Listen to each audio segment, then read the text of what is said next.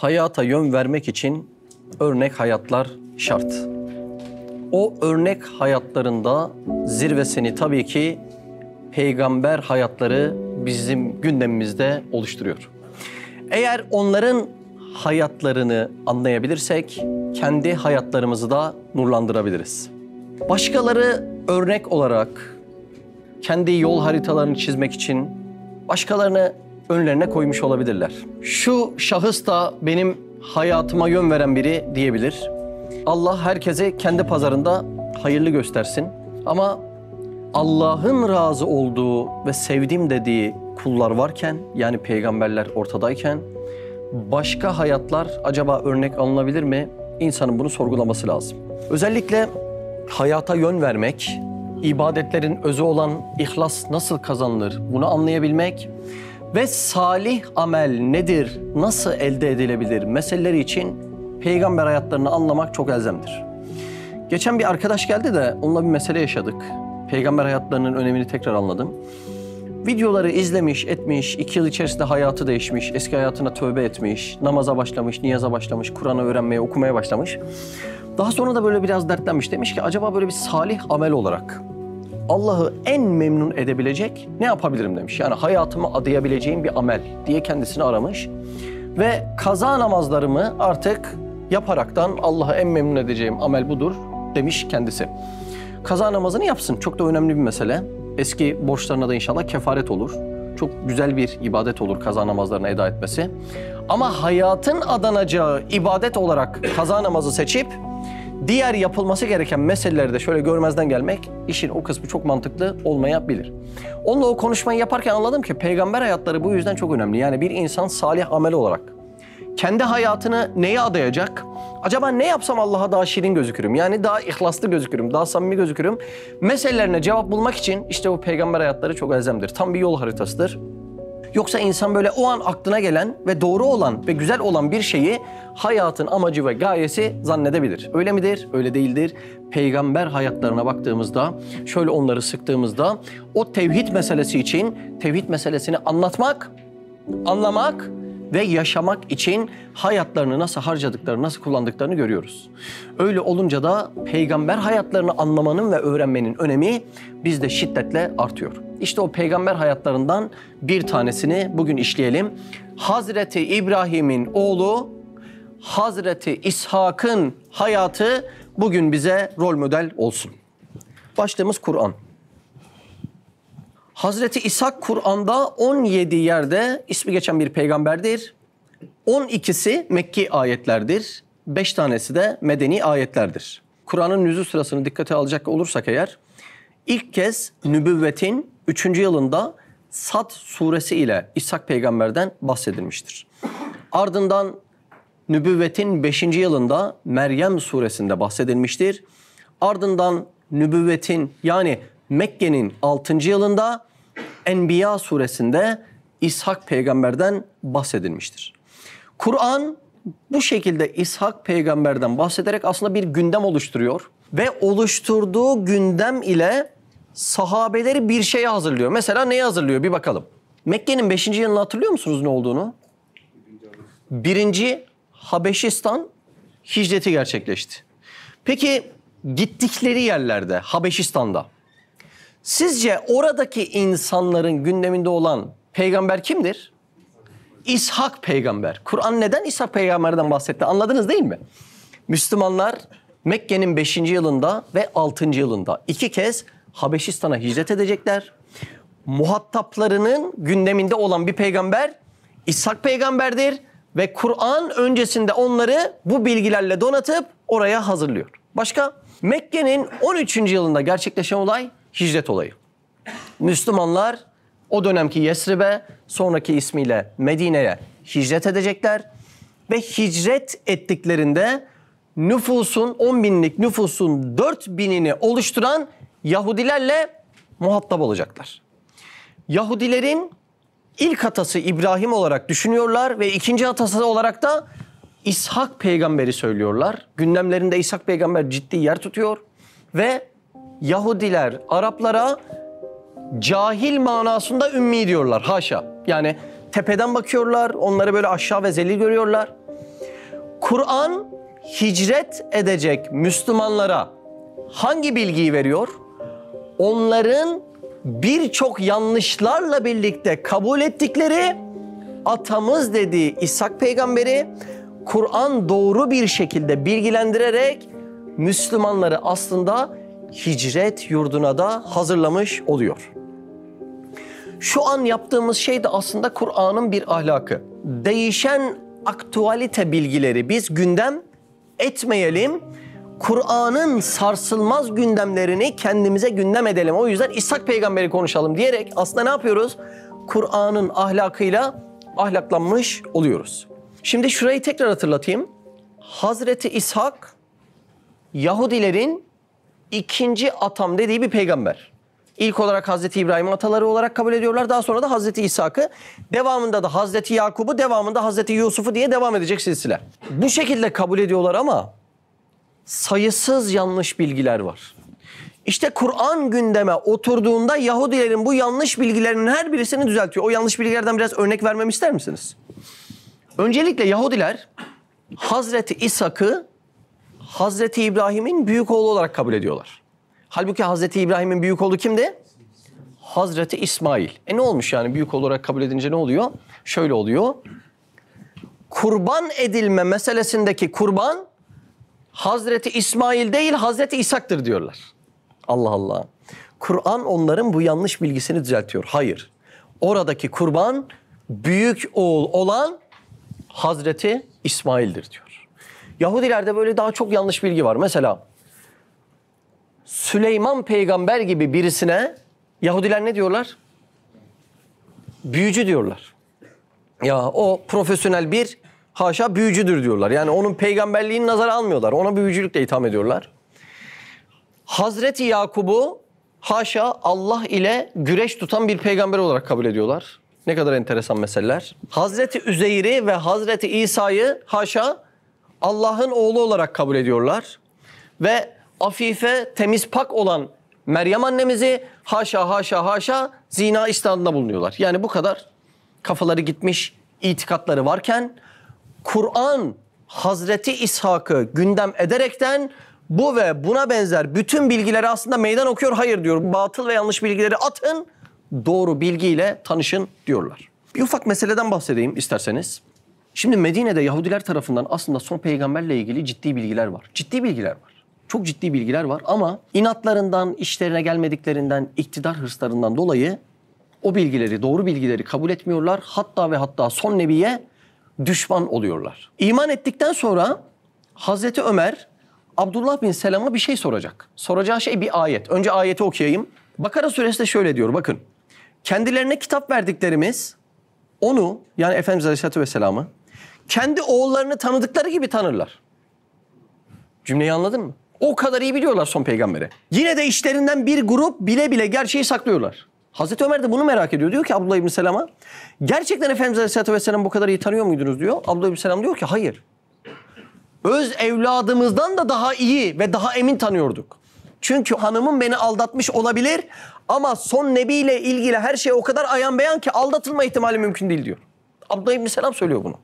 Yani bu kadar iyi bilmelerine rağmen son peygamberle ilgili bütün haberlerin tam Efendimiz Aleyhisselatü Vesselam'a uygun olduğunu bu kadar iyi bilmelerine rağmen neden inat ediyorlar? Tabii ki de kibirlerinden inat ediyorlar. Diyorlar ki Kur'an gele gele haşa Abdülmuttalib'in yetimine mi gelecek? Biz kendi içimizden o peygamberi arzu ediyoruz ki o iktidar, o saltanat vesaire onların hepsi bizden devam edecek. Dünyaya şöyle hakim olacağız diye böyle zihninde aforizmaları var. Maalesef durum bu şekilde. Yeni başlığımız tarih hayatı. İshak peygamberin annesi Sare annemiz, babası ise Hazreti İbrahim. Tahminen milattan önce 2200 ile 2000'li yıllar arasında o ailenin yaşadığını biliyoruz. Büyük kanaat ile İshak İbranice bir kelime olduğu söyleniyor ve İbranice'de gülmek anlamını taşıyor. Hatta bir ayet var. O ayetle de eşleştiriyorlar. Ayeti de okuyayım Hud suresinde. Şimdi birazdan ayrıntılı anlatacağım. Hazreti İbrahim yaşlı, Sare annemiz yaşlı ve çocukları olmuyor. Yani Sare annemiz hem yaşlı hem kısır.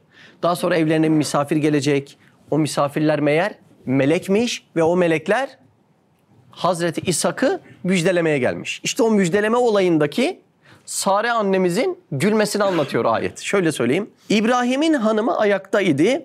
Bu sözleri duyunca güldü. Ona da İshak'ı müjdeledik. İshak'ın arkasından da Yakub'u diye Hud suresinde bahsediliyor. İşte o gülmek kelimesini de buradaki kanaate delil olarak söyleyenler olmuştur. Biraz şemalinden bahsedeyim. Hazreti İshak peygamber nasıldı acaba? Uzun boyluydu, siyah gözlüydü, buğday tenliydi. Yaşlandığında hem saçı hem sakalı bembeyazdı ve babasına çok benzerdi diye hakimin müstedrekinde böyle bahsediliyor. İshak peygamberle ilgili daha fazla bilgi yok açıkçası. Yani hakkında çok az bilgi var. Özellikle peygamberler hayatını bahseden kitaplara baktığımızda Hazreti İshak'la ilgili çoğu bilgiyi Hazreti İbrahim'i anlatırken aradan vermişlerdir. O yüzden hakkında biraz bilgi azdır. Başka bir özellik İshak peygamberle ilgili ailesi peygamber. Nasıl oluyor? Bakın şöyle. Babası kim? Hazreti İbrahim peygamber. Abisi kim? Hazreti İsmail peygamber. Oğlu kim? Hazreti Yakup peygamber. Torunu kim? Hazreti Yusuf peygamber. Kuzeni kim? Hazreti Lut peygamber. Ailesinden onlarca peygamber olan bir peygamber efendimizin hayatını işliyoruz. Allah Allah. Şimdi İshak peygamber zamanında dört peygamber birlikte yaşıyor. Çok enteresan bir mesele. Kimler onlar? Milattan önce 2000'li yıllarda dört peygamber birlikte yaşıyor. Hazreti İbrahim Filistin bölgesinde. Küçük oğlu Hazreti İshak o da Filistin bölgesinde. Hazreti İsmail nerede? Mekke Faran dağlarında hatta say ediyoruz ya değil mi? Safa Merve'de koşturuyoruz. Neden say ediyoruz? Çünkü Hacer annemizle Hazreti İsmail o bölgede değil mi? Su buluyorlar zemzem oradan çıkıyor o yüzden. Yeğeni Lut o da Ürdün bölgesinde yaşıyor. Yani aynı anda dört peygamber. Onların bir kısmının hayatını işledik hatırlarsınız. Hazreti İbrahim'i lütfen hatırlayın. Hazreti İsmail'i lütfen hatırlayın. Hazreti İshak'ı da şimdi işleyeceğiz. Hazreti Lut'u sonra işleyeceğiz. İnanın hayatları çok çileli, çok sıkıntılı geçmiş. Neden anlattım bunu? Şu yüzden. Dört peygamberin birlikte yaşadığı bir dönem bile cennet değil. Şimdi bizlerden birisi bu dünyada cennet arasak demek ki bu dört peygamberin hayatını anlamamışız demek. Allah Allah. Bazen hani moral bozuluyor ya. Ya şu insanlığı görmüyor musun? İnsanlığın çoğu şu şekilde diye. Dört peygamberin yaşadığı bir dönem bile bu şekildeyse bu şekilde moral bozmak demek ki insanlığın çoğu böyle diye moral bozmak doğru değil. O zaman buradan bir ders çıkması lazım. Bizler başarıya değil Allah'a iman ettiğimizde bu meselenin aslına ulaşacağız. Demek ki insanlığın çoğunun yolu doğru desek doğru olur mu? Hayır. İnsanlığın çoğunun değil, peygamberlerin yolu doğru. Demek ki her zaman kalabalık doğru demek değil. Hakikatin ölçüsü kalabalık demek değil. Bazı peygamberleri 10 kişi bile dinlememiş. Haşa onlarda bir başarısızlık mı var diyeceğiz? Haşa onların yolunda hata mı var diyeceğiz? Hayır. Demek ki mesele başarı meselesi değil. Onların yolundaki istikamet ve doğruluk meselesi. Bir insanın ayak izleri onların ayak izlerine değiyorsa eğer sayısal çokluğa nazar etmemesi şarttır. Yeni başlığımız Hazreti İbrahim'in Hazreti Hacer ile evliliği. Şimdi şöyle biraz bazı bilgileri hatırlatmam lazım. Hazreti İbrahim kavmi onu ateşe atmaya çalışıyordu. Ateşten kurtuldu. Kurtulduktan sonra nereye hicret etti hanımı Sare ile birlikte? Kudüs'e doğru hicret edecek. Hicret etmeden önce yolda nereye uğrayacak? Mısır'a uğrayacak. Mısır'ın kralı yani Firavun'u Sare annemize bir hediye verecek. Ne hediye verecek? Hacer annemize hediye verecek ve üçü birlikte Kudüs'e doğru yola çıkacaklar. El Halil şehrinde yaşamaya başlayacaklar. El Halil'de Hazreti İbrahim hayvancılıkla uğraşacak. Çok zenginleşecek. Sofralar kuracak. Böyle birçok insanı ağırlayacak. Hatta İbrahim sofrası bereketi diye değil mi? Dilimize pelesenk olmuştur. Ama sofrasında bir şey eksiktir. Nedir o eksik olan? Çocuk. Çocuk eksikliğinden dolayı İbrahim peygamber 86 yaşlarında sürekli şu duayı edecek. Rabbim bana salihlerden olacak bir çocuk bahşet diyecek. Ayet şöyle geçiyor. Rabbi habli mines salihin. Bu habli, heb, vehebenin emir kipi. Yani hibe etmek manasında.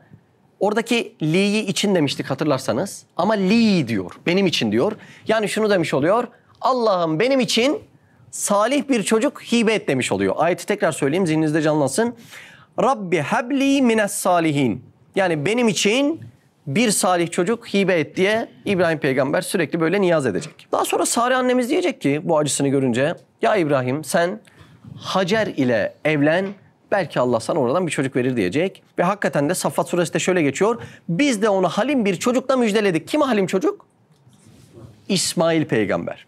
Tabi İsmail peygamber Hacer annemizden dünyaya gelince Hazreti İbrahim'in teveccühü sürekli İsmail peygamberin üstünde oluyor. Ve böylece Sari annemiz böyle hafif bir kıskanıyor. Yani böyle bir ahvali.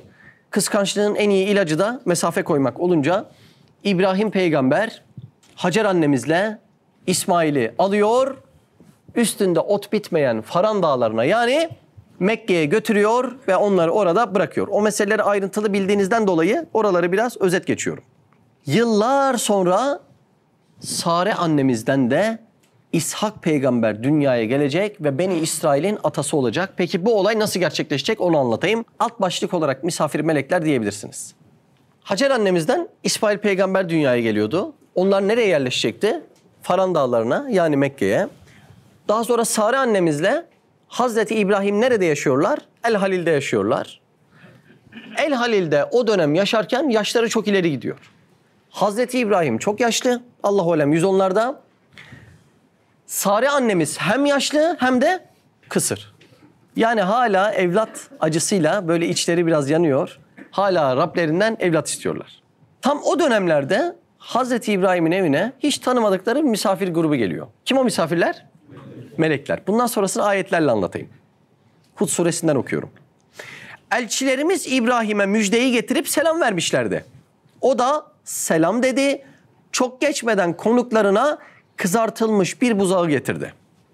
Ona el uzatmadıklarını görünce yani misafirler o yemeği yemiyor. Hazreti İbrahim orada biraz şaşırıyor. Ona el uzatmadıklarını görünce onları yadırgadı ve onlardan dolayı içine bir korku düştü. Korkma.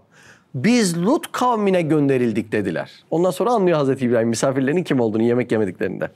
Devam ediyorum ayetlere. Ayakta bekleyen karısı rahatlayıp güldü.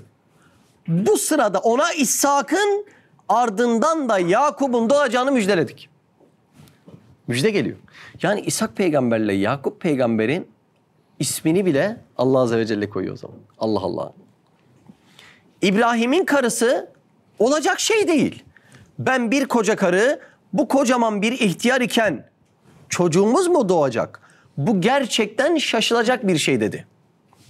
Melekler dediler ki Allah'ın emrine mi şaşırıyorsunuz? Allah'ın rahmeti ve bereketi sizin üzerinizdedir ey ev halkı. Şüphesiz o övülmeye layık olandır, mecittir, yüceler yücesidir. Allah Allah. Ne gerçekleşiyor yani?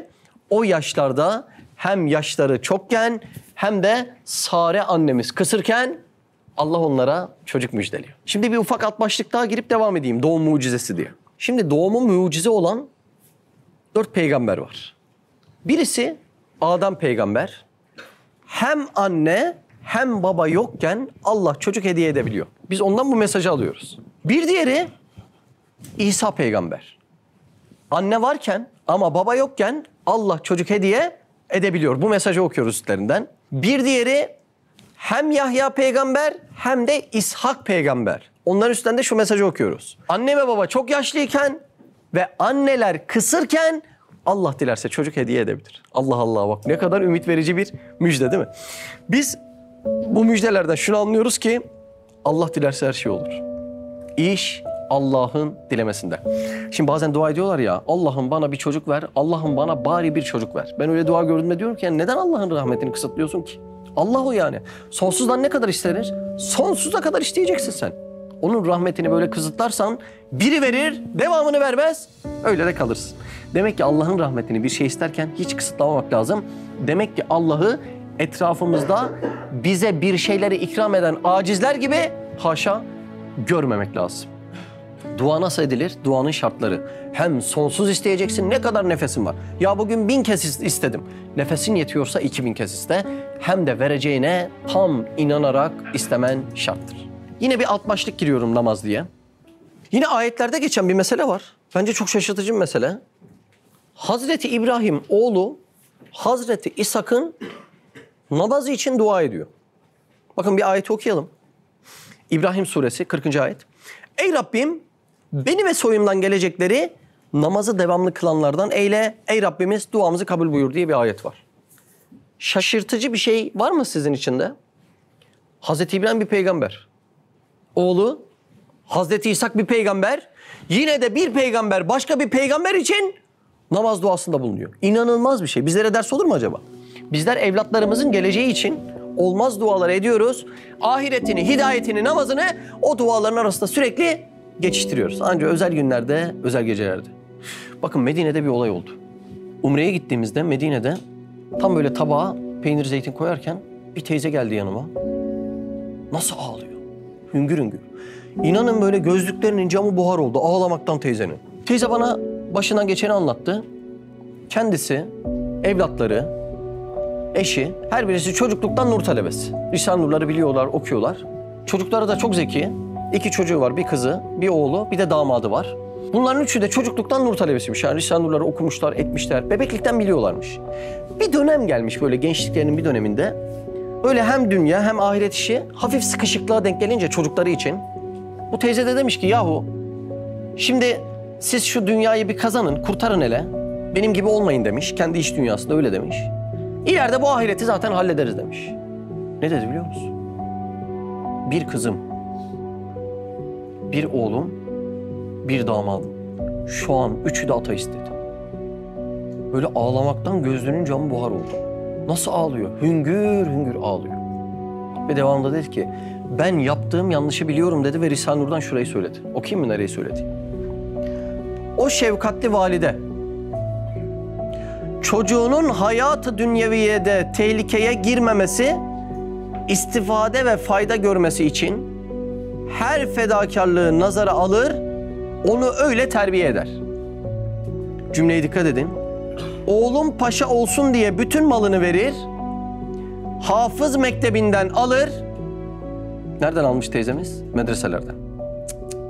Bak. Hafız mektebinden alır, Avrupa'ya gönderir. Fakat o çocuğun hayatı ebediyesi tehlikeye girdiğini düşünmüyor. O teyze dedi ki, ben dedi hatamı biliyorum dedi. Risale Nur'dan da burayı söyledi.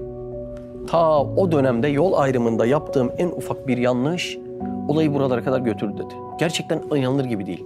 Bir peygamberin başka bir peygamber olan oğluna namazı için dua etmesinin kıymetini anlayabiliyor musunuz?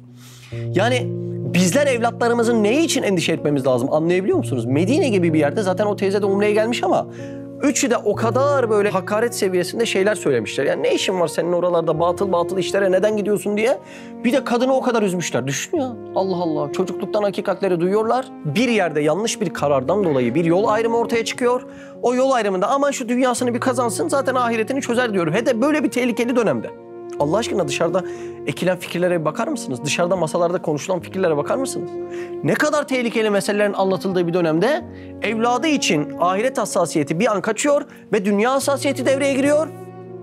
Çocukluktan beri Kur'an'ın hakikatleriyle yetişmiş bir kızı, bir oğlu, bir damadı, üçü de ateist oluyor. Şu gözlük camı buhar olmuştu yani. Bu kadar ağlıyordu teyze ve bence de o kadar ağlanması gereken bir mesele imanların kaybolmasına ağlamayacaksak bu kalp bizde ne için var yani? Asıl ve en büyük mesele bu değilse bizim ağladıklarımız meseleler bizim imanımız mı olmuş acaba?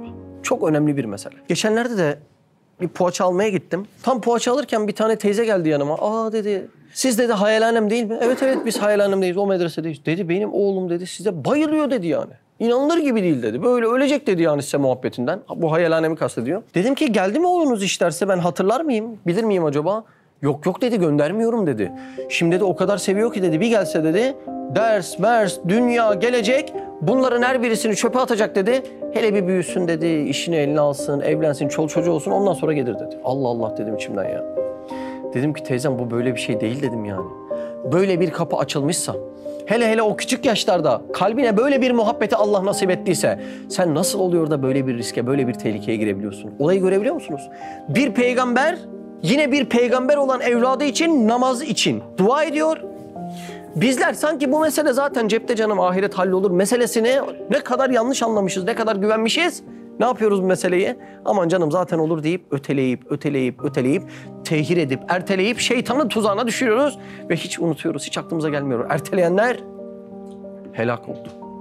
Benim o gün alemim değişti o teyzeyi görünce. Çünkü benim iç yangınım. Yalnız dışarıda muhatap olduğum insanların böyle evlatları için yangınını görüyorum. Yani oğlumun eğitimi eğitimi sanki oğlunun birisi gazal olacak, birisi farabe olacak. Yani o kadar endişeleniyor ki oğlu için ve oğlu namazdan bir haber, Kur'an'ın hakikatinden bir haber, Efendimiz Aleyhisselatü Vesselam hayatından bir haber. E bu çocuk ileride şefkat tokadı niteliğinde acaba ilk kimi terk edecek? O ebeveyni terk edecek. Neden? Çünkü el ceza min cinsil amel. Ceza amelin cinsinden olacak. Maalesef ileride sevmek ve merhamet beklediğin o evladının eliyle belki bir şefkatli, Allah muhafaza bir zecir tokadı yiyeceksin. Nasıl girilir böyle bir riske? Bir peygamber başka bir peygamber olan evladı için namaz duası ediyor. Çok enteresan mesele değil mi? Çok enteresan mesele. Yani belki ayeti böyle zahir okusak ya ne güzel bir dua etmiş deyip geçiyoruz ama bazı yaşantı zenginlikleriyle birleşince şu ayet çok şaşkınlık verici bir olaya sürüklüyor. Demek ki tekrar hatırlatalım. Bu dönemde anladığımız dünya ve ahiret dengesi diye bir mesele mevcut değildir. Temelde olmazsa olmaz ahiret meselesi vardır.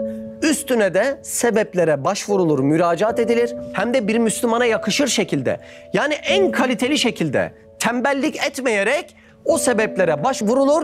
Daha sonra Allah Azze ve Celle dilerse dünyayı verir. Milimi milimine ne vereceği belli olan o dünyayı Allah dilerse verir. Demek ki endişe duyulacak yerlerimizin terazisi şaşmış. Toplumun çoğu böyle değil mi maalesef? Yani çok üzücü bir ahval. Neredeyse bütün kanımız çekilmiş ve sanki başka bir kan bize enjekte edilmiş ve bünye bu kanı kabul etmiyor böyle yaşamaya çalışıyoruz. Yani biz imansız, biz ahiretsiz, biz hidayetsiz nasıl yaşayabiliriz yani?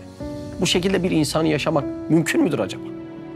Ama maalesef işte temeller değiştiğinden, Kur'an'la ülfetimiz zarar gördüğünden, Kur'an evin bir köşesinde, benim hislerim, heveslerim, arzu ettiklerim de evin tamamında. Ne kadar üzücü bir şey ya. Allah aşkına bu şekilde evlatlarımıza tekrar bakalım. Allah aşkına evliliklerimize bu şekilde bakalım. İstediğimiz kadar namazlı, istediğimiz kadar tesettürlü olalım. Acaba o evliliğimizde o mana var mı? Yani eşimizle denk geldiğimizde kabrimizi nasıl kurtarırız endişesi bizde var mı? Yoksa her buluştuğumuzda dur şöyle selfie çekelim, dur böyle video çekelimden gün ölüp gidiyor mu? Bir peygamber başka bir peygamber olan evladı için namaz duası ediyor. Subhanallah. Çok endişe edilecek bir mesele. Devam edeyim. Yeni başlığımız hanımı ve çocukları. Hazreti İshak babası Hazreti İbrahim'in vasiyeti üzerine Kenanilerden bir hanımefendiyle evlenmeyip Refeka binti Betvil isimli hanımefendiyle evleniyor. Refeka ile olan evliliğinden ikiz erkek çocuğu oluyor.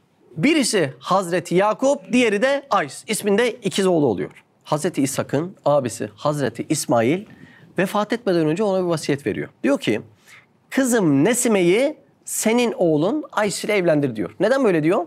Hem soy bağı devam etsin diye hem de ileride Yahudilerin iki peygamber kardeşi birbirine düşman etme çabasını öngörüyor İsmail peygamber. O yüzden de böyle bir vasiyeti oluyor. Vasiyeti gerçekleştiriyorlar. Hazreti İsmail'in kızı Nesime ile evleniyor diye hakimin müstedrekinden yine okuyoruz. Hazreti İshak Allah tarafından bereketlere mazhar kılınmış bir peygamberdir. Bununla ilgili bir ayet var mı? Evet bir ayet okuyoruz ama ayetin yine içinde çok enteresan bir mesele var. Saffat suresinden okuyorum. Hem ona yani İbrahim'e hem İshak'a bereketler verdik. Her ikisinin neslinden de hem iyilik yapanlar var hem de açıkça kendi nefsine zulmedenler var. Yine enteresan bir şey yakaladınız mı? Kur'an neslin tamamını kutsamadı. O neslin içinde hem iyiler var dedi hem de nefsine zulmedenler var dedi. Neden böyle diyor biliyor musunuz? Çünkü mesele soy meselesi değil, yol meselesi. Mesela soy meselesi olsaydı Hazreti Nuh'un oğlu Kenan'ın bugün kurtulmuşlardan olması gerekirdi. Lut peygamberin eşi bugün kurtulmuşlardan olması gerekecekti. Yine Nuh peygamberin eşi de bugün kurtulmuşlardan olması gerekecekti. Efendimiz Aleyhisselatü Vesselam'ın amcası Ebu Leheb'in bugün kurtulmuşlardan olması gerekecekti. Demek ki mesele soy meselesi değil, mesele yol meselesi. Ya Yine burada bize ders geliyor değil mi? Hani böyle kendi eksiklerimizi anlamamız gereken bir ders ortamına girdiğimizde ya da biriyle tanıştığımızda ilk neyden başlıyoruz? Dedemizin hacalığından, evde namaz kılan bir eşimiz varsa ondan, çocuğun küçükken Kur'an kursuna gitmelerinden bahsede ede kendi açıklarımızı kapatmaya çalışıyoruz. Ne yaparsan yap, ne kadar soyunu anlatırsan anlat, sen bu yolda değilsen o açıklar kapanmayacak. Mümkün değil. Biz bunları yine nereden anlıyoruz görüyor musunuz?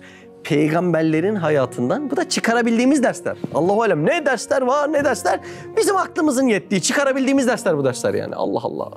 Yeni başlık alim bir peygamber. Hazreti İsmail'in müjdelenmesinde bir kelime vardı. O kelimeyi hatırlıyor musunuz? Hazreti İsmail için Kur'an halim bir peygamber diyordu. Şu şekilde Saffat suresinde geçiyor. Biz de onu halim bir çocukla müjdeledik diye geçiyordu. İsmail peygamber halimliğiyle nazara veriliyor.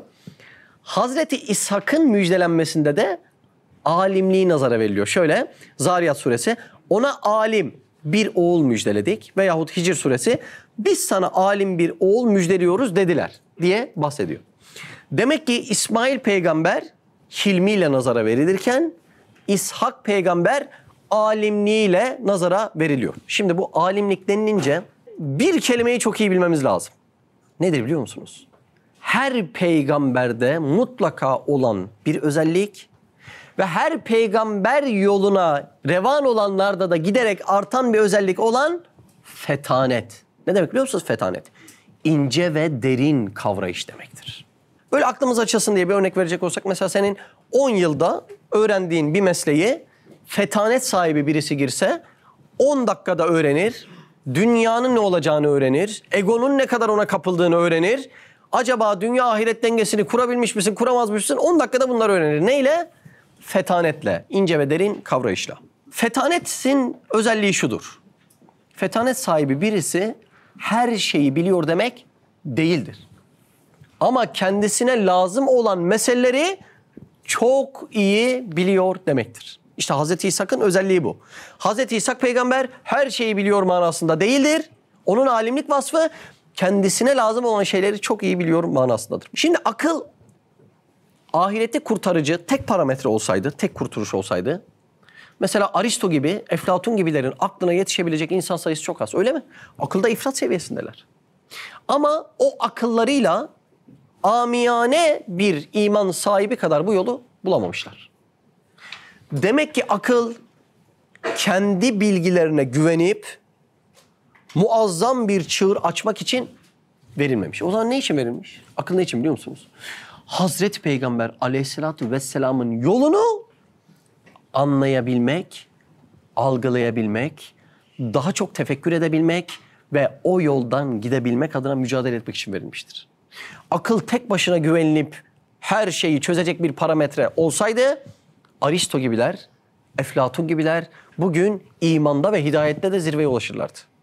Demek ki akıl Efendimiz Aleyhisselatü Vesselam'ın o yolunu, yordamını anlamak için verilen bir araçtır. Demek ki Hazreti İshak'ın alim vasfı ve fetaneti bizi şuna davet ediyor. Buyurun vahyin gölgesinde aklınızı kullanın ancak bu şekilde alimlerden olabilirsiniz. Hazreti İshak'ın soyundan gelen peygamber efendilerimize de baktığımızda onlarda da ilmin yine ön planda olduğunu görüyoruz. Demek ki o alimlik vasfı devamında da sirayet etmiş, varlığını korumuş. Bu arada peygamberlerin özelliklerini anlatmışken şunu da bilmekte fayda var. Hangi peygamberde hangi özellik ortaya çıktıysa Efendimiz Aleyhisselatü Vesselam'da o özellikler kemal noktadadır. Bu ne demek? Şu demek. Yani biz Efendimiz Aleyhisselatü Vesselam'ın hayatını iyi bilirsek aslında bir beşerin hayatını değil, bütün beşeriyetin hayatını anlamış olacağız. Çünkü bütün beşerin en yüksek kemalatları onda cem olmuştur. İshak peygamberin en büyük müjdeleri ne olmuştur? Şunlar olmuştur. Oğlu Yakup peygamber ve torunu Yusuf peygamber olmuştur. İlerleyen derslerde de onları işleyeceğiz. Yeni başlığımız vefatı. İshak peygamber Şam bölgesinde yani Filistin bölgesinde peygamberlik yapmıştır. Kaynaklara göre 160 sene veya 170 sene veya 180 sene veya 185 sene yaşadığı rivayet ediliyor. Kendisi Filistin bölgesinde Kudüs yakınlarında vefat eder ve Hazreti İbrahim'in kabrinin yanına defnedilir. O bölgeye hatırlarsanız El Halil bölgesi diyoruz. El Halil Osmanlı'da Mescid-i Aksa'dan sonraki en kıymetli yer. El Halil bölgesi.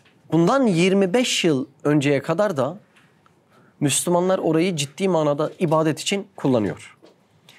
Ama 25 Şubat 1994'te İsraillerin meczup dediği ama aslında doktor olan bir tanesi bir kanlı terörist o bölgeye taramalı silahlarla giriyor.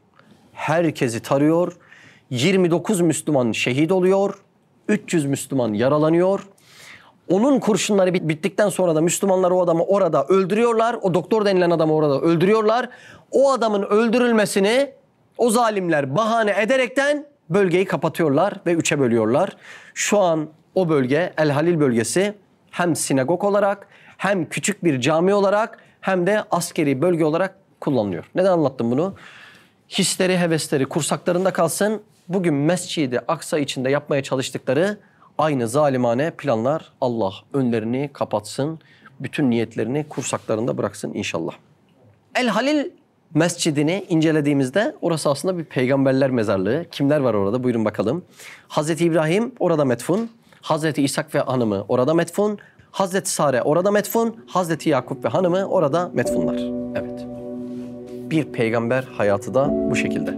Allah onların yollarından gidenlerden, yol soydan önemli oluyor anladığımız kadarıyla. Allah onların yollarından gidenlerden, ayak izlerine basanlardan ve ahirette inşallah onların sofralarına oturanlardan eylesin. Ahirette oturursak eğer böyle sofraya oturdum, yemek yedim, kalktım değil. Orada zaman yok. Orada mekan la mekan. Orada ayrılık yok. Ne istiyorsun? Eğer layıksan, eğer imanın yetiyorsa sürekli en yakın dostların inşallah o peygamberler olacak. Allah onların sofralarında onlar ile rızıklandırılanlardan bizleri de eylesin inşallah. Evet. Subhaneke la ilme lena illa ma allamtena inneke entel alimul hakim ve ahiru davan enilhamdülillahi rabbil alemin. El Fatiha. 10. peygamber hayatımızda böylece son buldu. Gene içinde derin ve ince manalar olan bir hayat görmüş olduk. Allah inşallah ruhumuzu onların hayatlarıyla beslenenlerden eylesin. Evet. Ders bitti. Gezegenler bile bir aradayken tek olduğunu düşünüyorsan koskoca evrende bu kanal tam sana göre. Bu video YouTube kazanında kaybolmadan senin gibi başkalarına da ulaşabilmesi için desteğe ihtiyacı var. Her abone bir kırgın yüreğe daha ulaşmayı sağlayacak. Beğen, abone ol ve yorum yapmayı da unutma. Siz de Hayalhanem İstanbul ve diğer tüm projelerimize destek olmak için buradaki linke tıklayarak online bağışta bulunabilir veya aşağıdaki iletişim numaralarından bizlere ulaşabilirsiniz.